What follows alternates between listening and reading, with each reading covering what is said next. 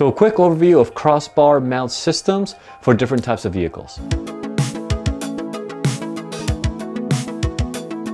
So this question has been coming up a lot lately of what type of crossbar system should I get? What would be good for my type of car? What is out there? What is reliable? and I thought I would do a live session. I tried one yesterday. Sadly, the quality was pretty terrible. The sound quality was horrible. So here's take two. The top companies that I know of that I've either used many of their pieces or other people I know have used and trusted over the years are Yakima, Thule, Malone. There are others, but those three seem to be the go-to amongst the kayaking community. I've been using Yakima systems for a long time. That's just the one that I started using. And what's great about these companies is that once you start with one piece, they're all interchangeable. And as you change vehicles, you can then use different parts of your system for new vehicles. You can just mix and match. The way the setup works is you'll have some kind of tower that will then attach to your roof and will hold on to some kind of crossbars. I happen to use the Yakima round bars, which are the most basic out of all the different crossbars. Different companies will have round or square bars. You can find more aerodynamic crossbars that are wide and very thin. They cut down on noise and they also help with fuel efficiency. These are not as fuel efficient. These usually make quite a bit of noise, but they're very basic. They're a little bit cheaper. They can take a beating. I've been using them for years and I have no problem with the round bars. Uh, one thing that does happen is when you put different types of kayak mounts on them, sometimes depending on how tight you have them, they might slip back and forth and rotate on them. One way to stop that is putting a little piece of rubber or something in between as it clamps down.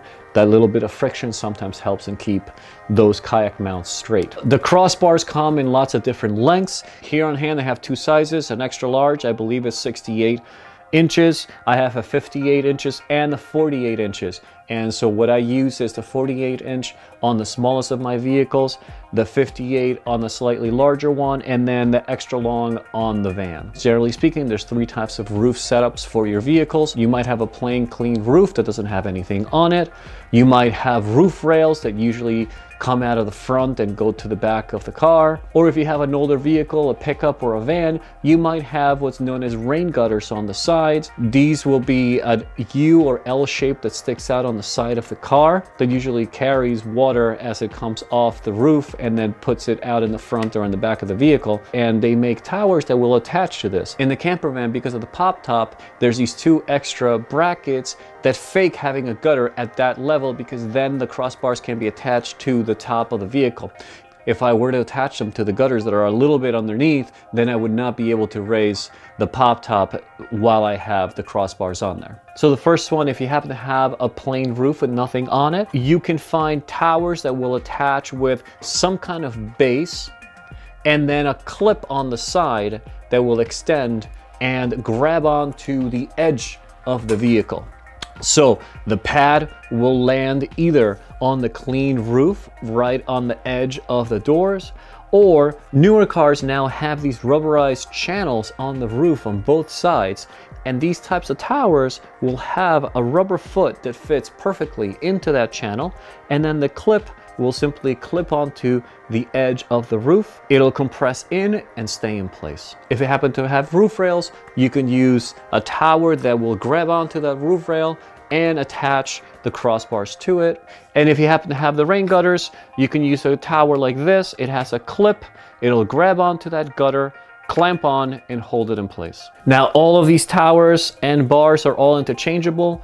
You can see here that this adapter on the tower allows me to put whatever type of crossbar system that I choose. So if I wanted to get the aerodynamic ones, I would simply need to change this piece right here and then I'd be able to put other types of crossbar systems using these exact same towers. To make things quieter, here you can see that I wrapped around a paracord the length of the crossbar. I was lazy, this was the first thing I found. Usually I would use a black one. What this does is that it disrupts the airflow enough so that you don't really hear, you don't hear the vibrations as the air goes through it because otherwise if I was in the car without anything on it, at 40 miles an hour, I would hear certain humming noise, and then at 50 and 60 miles an hour, I would hear different notes.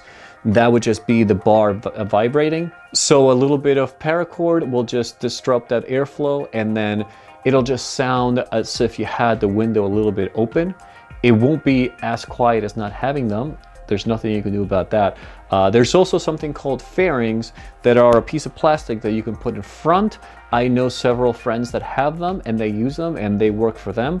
For me, the paracord has been just fine, so I haven't had a problem. And once again, the more aerodynamic ones are supposed to be a little bit quieter. So that's about it. A quick overview of the different crossbar systems that are available depending on what car you use. So if you have any questions or anything you'd like to add, please leave a comment below. Subscribe if you like. I'm always trying to put these videos out. And as always, Luke Kayak Hipster. Thank you for watching. See you next time.